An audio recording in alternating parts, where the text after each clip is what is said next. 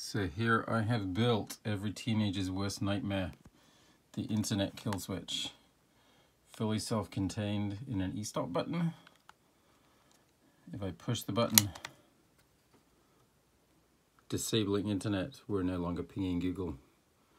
So I have a Raspberry Pi here talking to my firewall, which is monitoring the signal and runs a script to shut off my external interface if I reset it.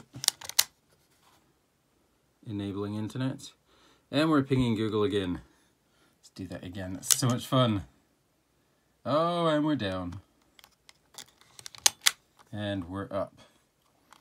So what we have here inside, there's a Raspberry Pi Zero W and a little battery and a QI charging pad so the battery keeps the Raspberry Pi running for about an hour, I'm estimating.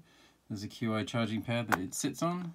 Uh, I can pick it up, walk around at any time, threaten the teenagers, and shut down the internet whenever I want. It's the big hammer.